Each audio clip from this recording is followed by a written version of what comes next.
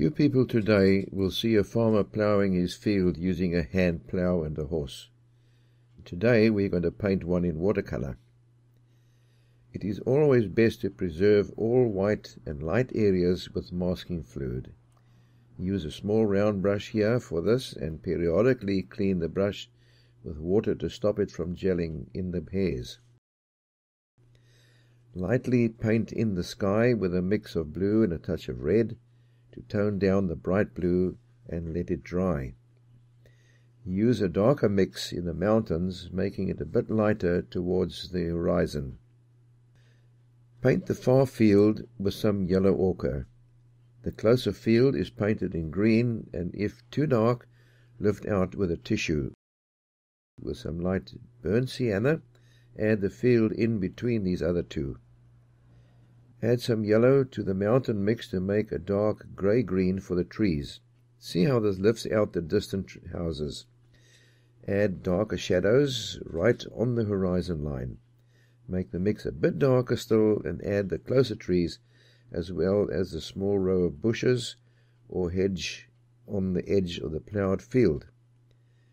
Cover the whole field with some light burnt sienna while letting it get darker towards the foreground. This adds distance perspective to the scene, and it also warms up the foreground and cooler as it recedes into the distance. See how the masking fluid has preserved the farmer and the horse.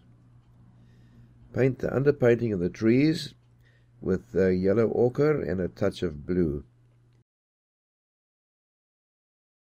With a darker mix, begin adding in the darker leaf clumps and the shadow areas.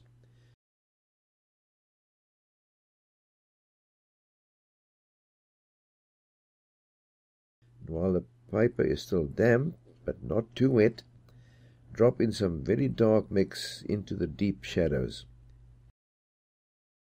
Then paint the shadows on the ground and tidy up some of the background.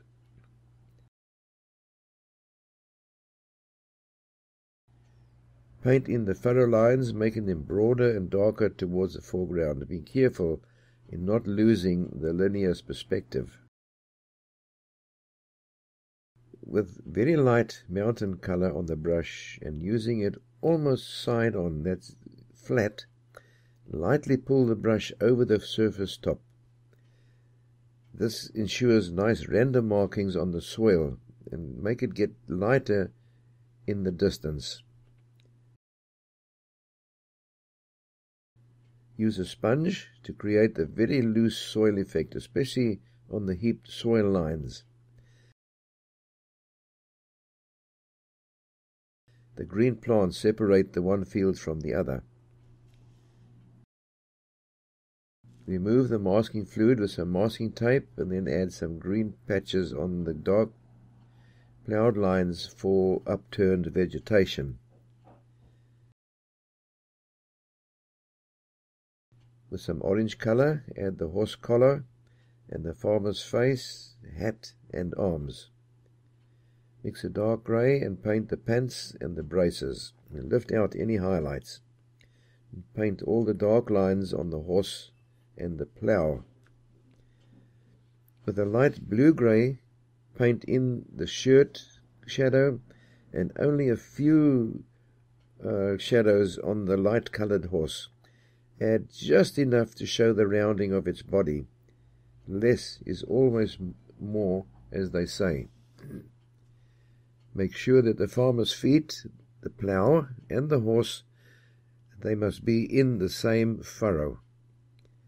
Please like this lesson if you enjoyed it, and we would love you to subscribe to our videos and also to leave a comment below.